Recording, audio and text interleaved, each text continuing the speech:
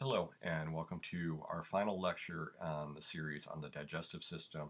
And in part six of this series, we're going to take a look at the liver. Now, the liver is the largest gland in the body.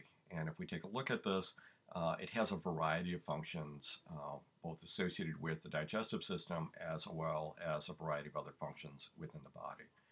Uh, the liver is involved with the processing and storage of nutrients.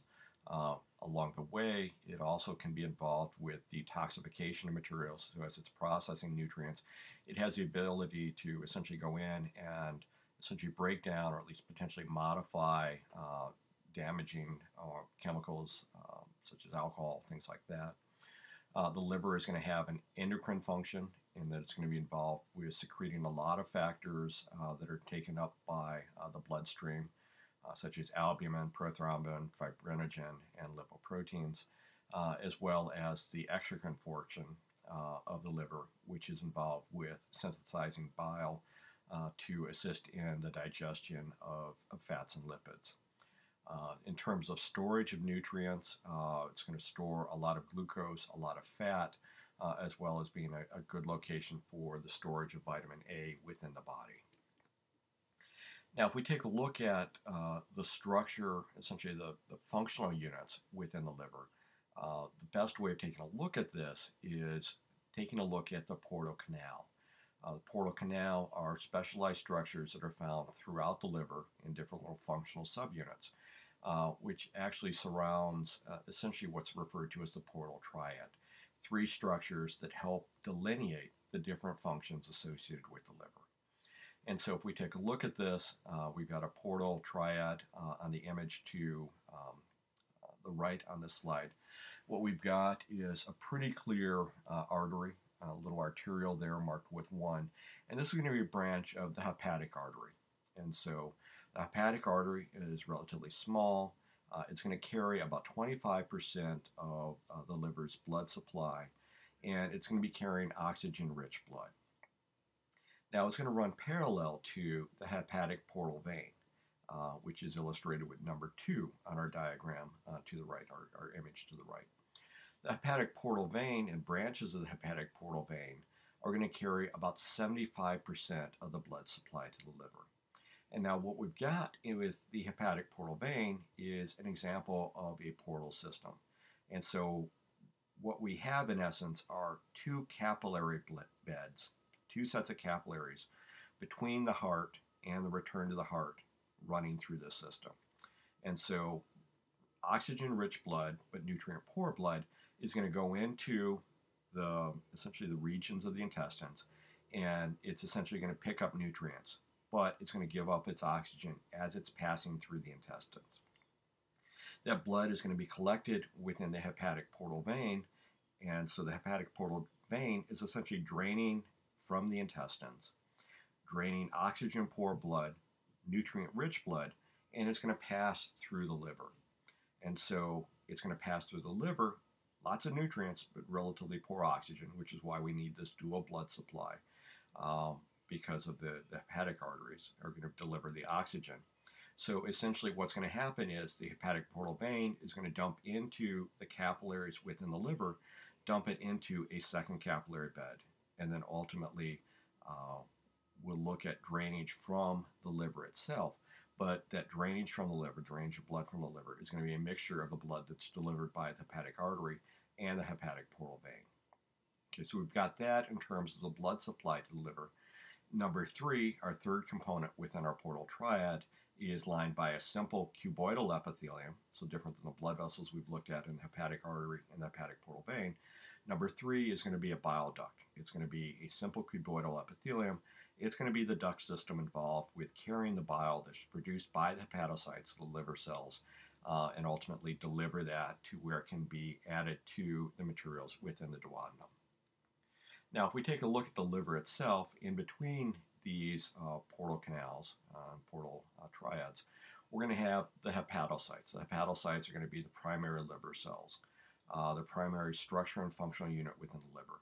Most of the time, these hepatocytes are going to be in one or two cell thick plates, which are going to be separated by essentially blood capillaries, what are referred to as hepatic sinusoids or liver sinusoids. So essentially, we're going to have a layer of hepatocytes, liver cells, and then we're going to have a blood capillary, and then another layer of liver cells, and then another blood capillary, another layer of liver cells, another layer of blood capillaries. And so, in essence, we're going to have a very rich capillary bed, these hepatic sinusoids, and lots of hepatocytes right up against the capillaries. They're uh, so close to the capillaries that there's actually a discontinuous endothelial wall so that the materials from the bloodstream are going to really bathe our hepatocytes very easily. And so a lot of exchange of materials between the liver cells and the blood supply. So if we take a look at this, and this is a, a scanning electron micrograph, and so we've got a hepatocyte to the bottom left, we got uh, the liver sinusoid, essentially the liver blood capillary, uh, with lots of openings uh, as it's passing uh, from the upper left to the bottom right. Uh, but we can say lots and lots of openings, those little kind of pores when you take a look at it. And in essence, what it gives rise to is a space between the capillary and the hepatocytes. And it's such a distinct space that it has a, a distinct name. It's a space of Disse. And the space of Disse is going to be this opening that's outside of the blood vessel. So it's going to be dealing with tissue fluid. And in essence, it's the start of the lymphatic vessels, the start of the lymphatic space. Uh, but it's open and continuous with the capillaries, open and continuous with these sinusoidal capillaries.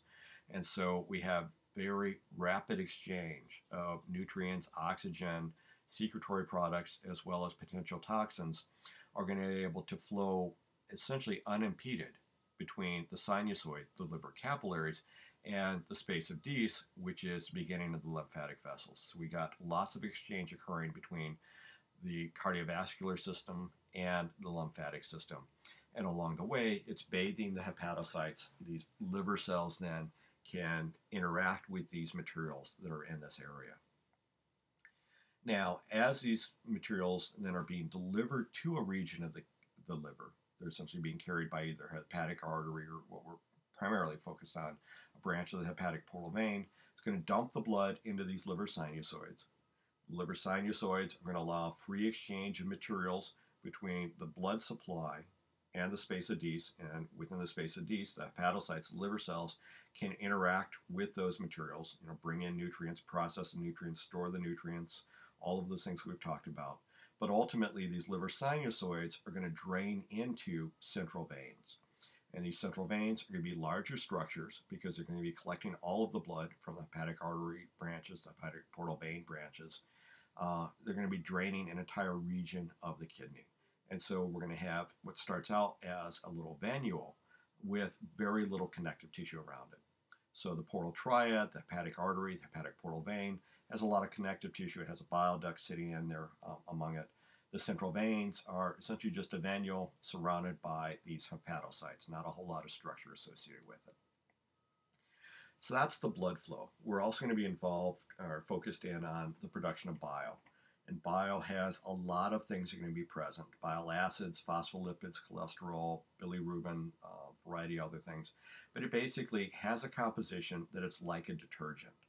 And so, like a detergent, it's going to be break, good at breaking down particles. And so, it's going to basically allow us to take big globs of fat and break it down into smaller and smaller and smaller kind of clusters of fat through emulsification.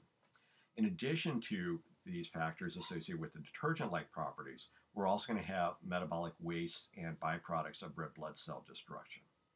Now, all of these things could be potentially harmful if it got into our bloodstream. And so, while many of the materials interacting with the bloodstream are going to be along the side with the space of Disse and our liver sinusoids, bile is going to be produced and then dumped into a bile canaliculus. A canaliculus is essentially almost like a membrane fusion between neighboring um, hepatocytes, neighboring liver cells. So we've got these small tubular plasma membrane bound tubes, in essence, or gaps between adjacent hepatocytes, which is going to drain into a bile duct to again keep the bile separate from uh, the bloodstream and the tissue fluids. So we've got lots of hepatocytes and primary cells within the liver. We're also going to have a second category of cell, a rarer population of cell, but we're going to have phagocytic cells that are going to be lining these liver sinusoids called Kupffer cells.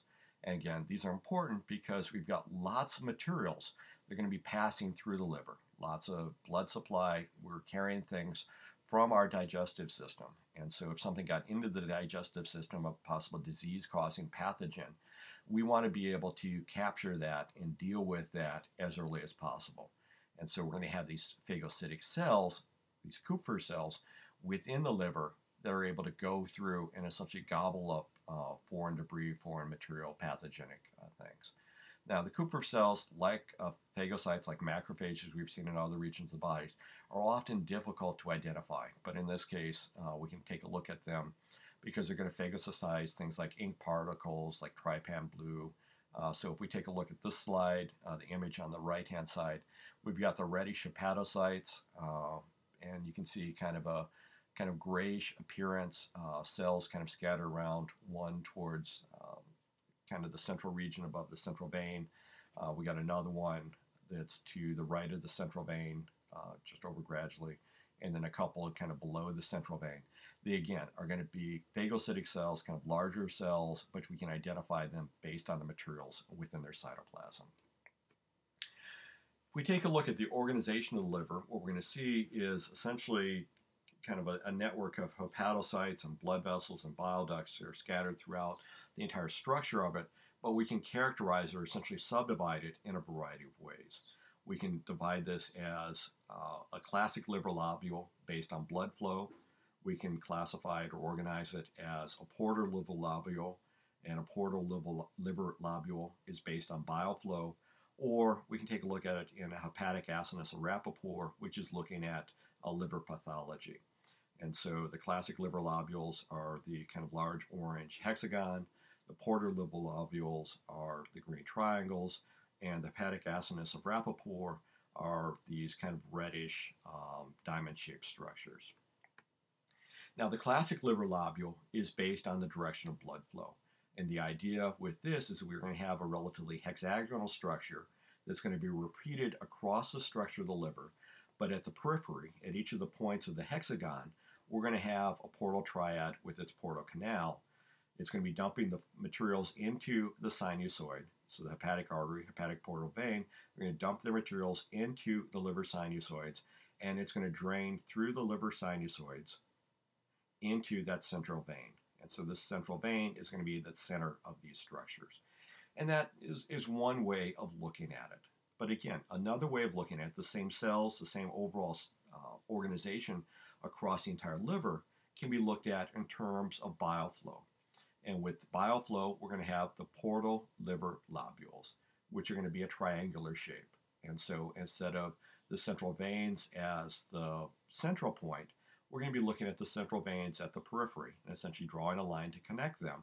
We're going to have a triangular structure, and in essence, at the center is going to be a portal canal. And most importantly, for the portal liver lobule, where we're looking at bile flow, that central hepatic bile duct is going to be the center of the portal triad, the center of the structure. So it's going to be the center of the portal uh, lobule. So you're basically looking at a roughly a triangular shaped structure draining into our bile duct. All, finally, we've got the hepatic acinus of Rappaport. This is based on liver pathology. This is a diamond shaped structure uh, with portal triads at one end, central veins at the other axis. And it's looking at the idea that blood is going to be released by these uh, cells within the portal canals. And if it has a toxin, the highest level of the toxin is going to be exposed to the cells closest. Further away is going to have the lowest level. And so this can be used to explain liver pathologies. And then finally, we'll take a look at the gallbladder as a structure associated with the liver involved with storage and concentrating the bile. Uh, it's going to release the bile in response to CCK, the cholecystokinin uh, that we said uh, was regulating the release of digestive enzymes from the pancreas. Again, similar mechanism for the control of release of things from the gallbladder. This finishes up our lecture series on the digestive system. As always, if you have any questions, feel free to email me at hoffmanj at arcadia.edu. Thank you.